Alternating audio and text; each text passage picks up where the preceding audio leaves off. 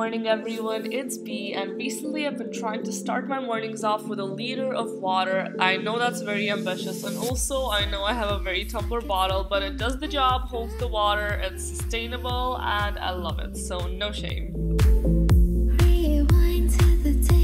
For breakfast, I'm gonna have a berry smoothie bowl, and it's very nice to be back in summer, unlike New Zealand. And my parents froze up a lot of berries, so there's tons to work with.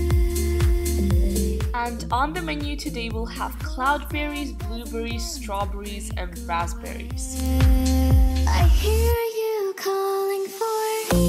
Pretty self-explanatory, but I'll just blitz everything together in my NutriBullet and also add some vanilla soy milk.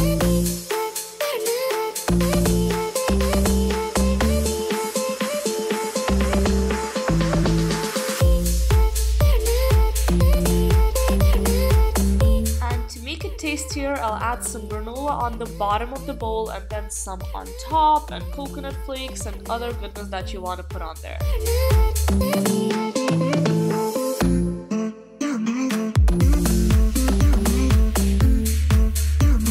Of course, I gotta have my daily dose of coffee, so I'll just make some iced coffee with coffee extract and a little splash of oat milk with a lot of ice all blended together.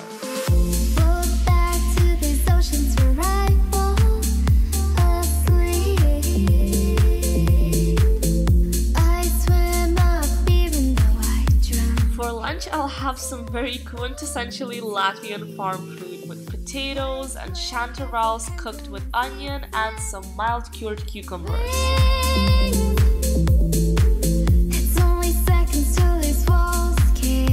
And for dinner, I decided to have some baked aubergine and I just cut it in half and lengthwise cut some stripes into it.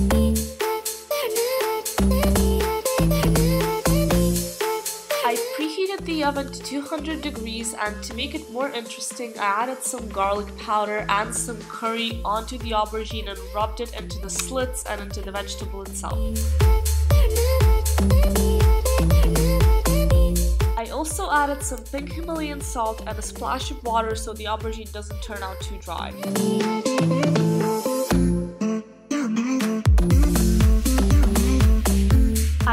To bake for 30 minutes and while that was baking, I wanted to steam some broccoli because I was really craving it.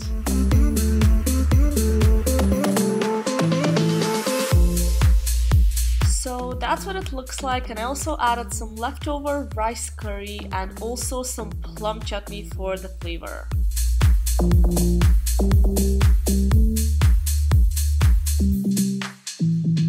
Hope you guys enjoyed this what I eat in a day and if you did then please make sure to click that red subscribe button down below to be notified when I upload videos. I love every single one of you and goodbye!